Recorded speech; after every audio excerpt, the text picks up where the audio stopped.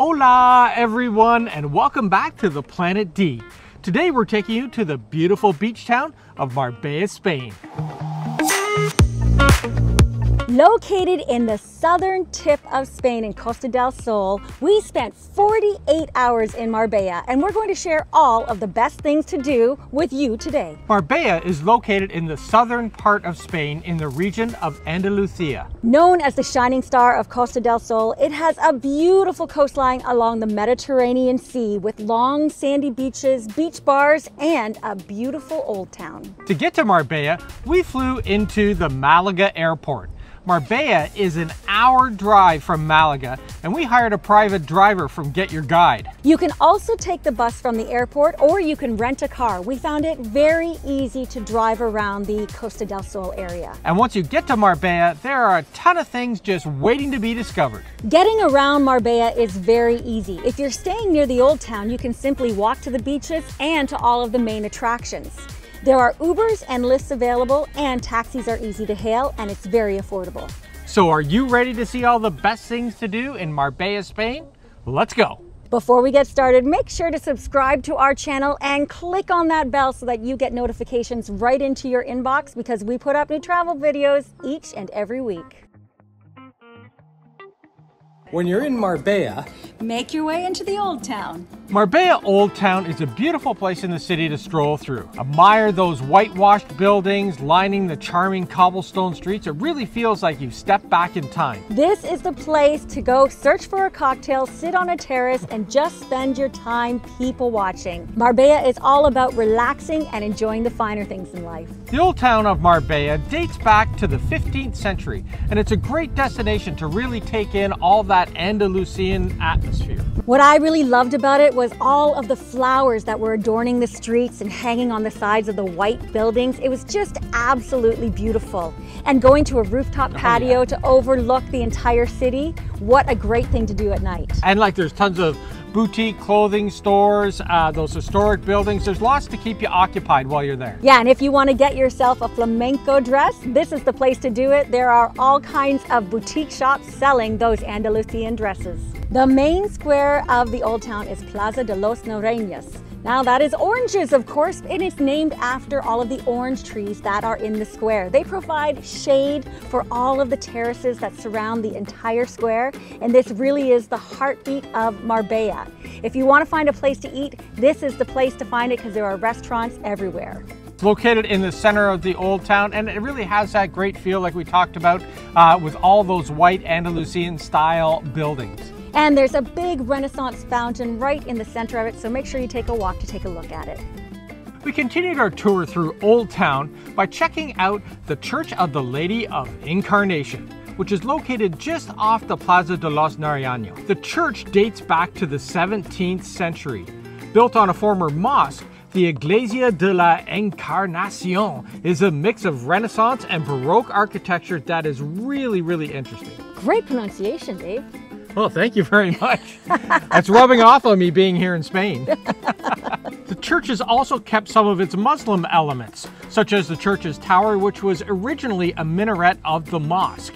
It's a working church, and when we visited, there was a mass going on, so we were unable to go inside, unfortunately but it was still beautiful to see from the outside. Sure was. One of the most popular attractions in Marbella is the Marbella Castle and Walls. The old town is surrounded by the old walls, so make sure you step out of town to take a look at them. This castle dates back to the 9th century, and at one time there were 10 towers. There are two that you can explore today, but you can't go inside. You can only walk around the outside. However, this is very important to see because it's one of the most important remnants of Arabic architecture in all of Marbella. Yeah, and the best place to actually see the best preserved parts are on the south and the east walls, so you want to head over there to check them out. The Avenida del Mar was one of our favorite places to take a stroll. It's a lovely pedestrian street that connects Marbella Old Town to the beach. What makes it so unique is that there's a line of statues that are made by Salvador Dali. But it's not only Dali statues that line Avenida del Mar, there are lots of artists featured there as well. What's really interesting is Dali never lived in Marbella. But I'm assuming that he loved it just as much as us and he wanted to make his mark and leave a little something to tell the city thank you for his beautiful stays. Yeah, I think he used a holiday there, so that's, uh, you know, it, it's fitting. I know that if I lived in Spain, I would holiday there regularly. If you want a quiet escape from the crowds, make your way to Alameda Park. This is a beautiful little reprieve from not only the crowds, but the heat. It's covered in trees and there are little park benches that are lining the cobblestone streets there. What's really beautiful is that they're intricate ceramic park benches that are just a work of art, just like so many things in Marbella. And while you're there, don't forget to check out the fountain as well. That's sort of the centerpiece of the park and something that's not to be missed. And there's a little children's playground and of course a beautiful little carousel. One of our favorite things to do in Marbella was to walk the Paseo Maritimo each morning. We just loved it. We would get ourselves a coffee and walk along the path that spans for seven kilometers. We went right from the old town all the way out to where were we going to? We're going to a Puerto Banús. You walk in front of all of the luxury hotels. There's little play stations where you can work out. And of course, there's plenty of cafes and restaurants lining the little promenade. It's a perfect way to kick off the morning. This is also a great place for sunset and to have some dinner at night. With over 15 high-class golf courses, Marbella is definitely a golfer's paradise.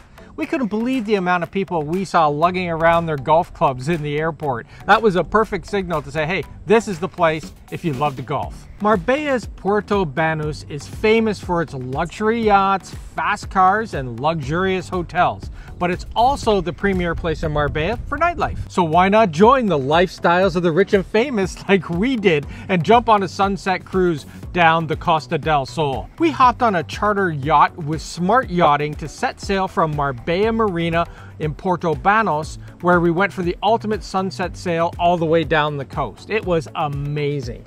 Puerto Banús really is the place to be seen. There were people driving their luxury oh. cars up and down the street.